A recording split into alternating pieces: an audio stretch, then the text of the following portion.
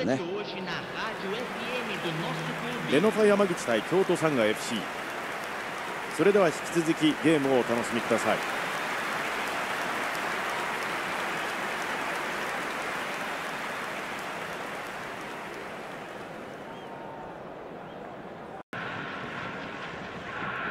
この時間はレノファ山口対京都サンガ FC こちらをご覧いただきます。このゲームの舞台はモラムビーズ。1960年に建設された歴史あるスタジアムです。このゲームの解説はおなじみ元日本代表ミッドフィルダー北澤剛さんです。どうぞよろしくお願いいたします。よろしくお願いします。まず前半見ていきましょう。エキシビションマッチが始まりました、えーサイドをご紹介しましょう。向かって右側が京都反対側左のエンドからが山口。谷地田。さて北澤さんこの試合注目している選手はいらっしゃいますか？豊川ですかね。彼はユーティリティ性があって攻撃的なポジションなら何でもできるという印象ですよね。運動量を生かして前線からのシュート！しかしこれよく止めましたね。これディフェンスはキーパーに助けられた感じでしょうね川野キャプテンマークを背負っています。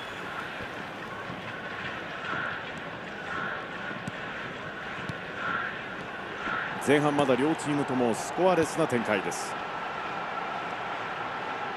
細かくパスをつないで攻め込んでいきます。池上。いいボールでしょボールはクリア佐藤。スピードアップしたいですよここは。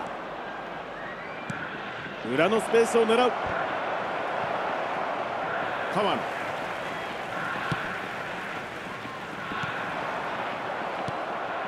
浅田。武田。宮本。谷地田。また中央へ。武田。ここは下げます。宮本厳しくチェックします。主審流します。浅田。縦へのボール。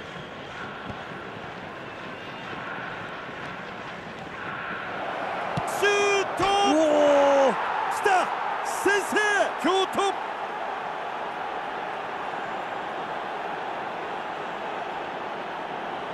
見事なワンツーからのフィニッシュでしたそうですね。お互いのゴールまでのイメージが共有できてましたよね。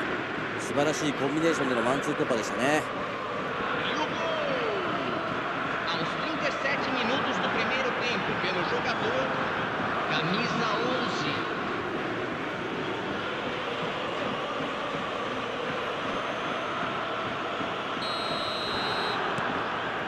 さあ京都先制1対0です。これで主導権を握れますからね、この後のゲームプランも立てやすくなりますしチームにとっても大きな1点ですよね。そうですね。松田スペースを使う。ボールを受けてシュート！追加点！京都！立て続けのゴール。決めてきました。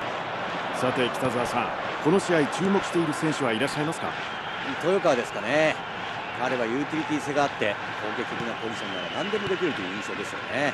運動量を生かして前線からのシュートしかしこれよく止めましたね。これディフェンスはキーパーに助けられた感じでしょうね。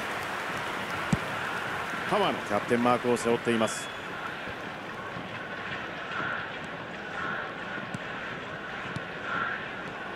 前半まだ両チームともスコアレスな展開です細かくパスをつないで攻め込んでいきます。池上。いいボールでしょ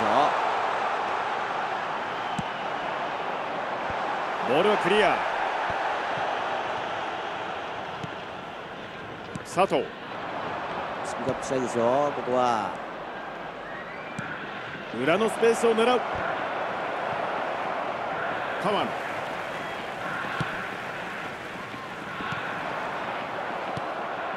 浅田武田宮本谷内田。また中央へ。武田ここは下げます。宮本。厳しくチェックします。主審流します。浅田縦へのボール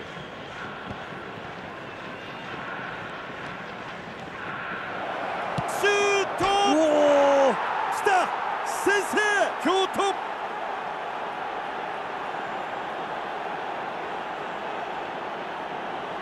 見事なワンツーからのフィニッシュでしたそうですねお互いのゴールまでのイメージが共有できてましたよね素晴らしいコンビネーションでのワンツー突破でしたね E o gol!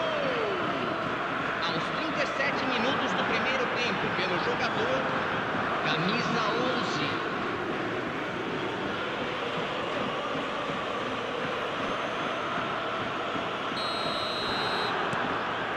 さあ京都先制1対0ですこれで主導権を握れますからね、この後のゲームプランも立てやすくなりますしチームにとって大きな1点ですよね。そうですね。松田スペースを使うボールを受けてシュート！追加点！京都！立て続けのゴール決めてきました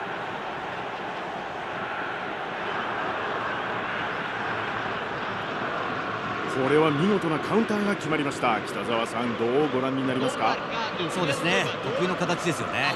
チームのストロングポイントを発揮したいいカウンターでしたよね。これは選手も狙い通りでしょうね。山崎今日2点目のゴールです。さあ京都さらに1点を追加し2対0としていますいやー止まらないですよねこの勢い。さっきのゴールをきっかけにチームとしての連携が出てきた感じですよね。裏を狙う。あーいいボールだ。松田。あーいい展開ですね。これ仕掛けるか？さあ豊川。シュート。きたー。京都。怒涛のゴール勢いが止まらない